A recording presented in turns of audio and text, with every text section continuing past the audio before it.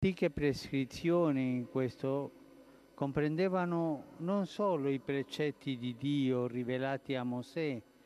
ma una serie di dettami che specificavano le Manca ormai poco al pellegrinaggio che coinvolgerà circa 500 cittadini di San Valentino Torio che insieme al sindaco Michele Stranese e dal parroco Don Alessandro Cirillo accompagneranno mercoledì la statua di Maria Santissima della Consolazione appena restaurata in piazza San Pietro a Roma dove verrà incoronata da Papa Francesco. Un momento di comunione e fede da portare nel cuore come affermato da Don Alessandro. Ecco, noi andiamo a, Roma non perché dobbiamo portare un'immagine, andiamo a Roma perché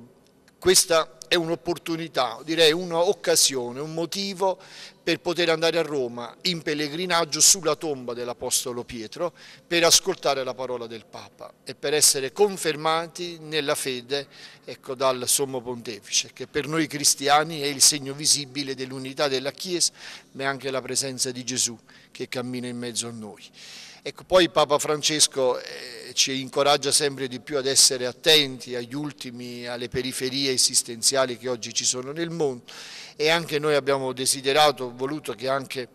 i pellegrini, ecco tutti i pellegrini, eh, daranno un segno di carità concreta al Papa, dove io consegnerò personalmente nelle mani del Santo Padre un segno della carità, che poi lui vorrà destinare per eh, ciò che il suo cuore meglio desidera. Quindi noi andiamo a Roma, al di là della statua della, della, Madonna della Consolazione, andiamo a Roma perché desideriamo stare insieme, vogliamo che questi festeggiamenti quest'anno abbiano questo eh, life motive, cioè poter essere guidati dalla parola di un pontefice che oggi eh, ormai è un consenso mondiale, è forse una delle figure più autorevoli ma anche più seguite che ci sono oggi attualmente eh, sul direi, panorama proprio mondiale.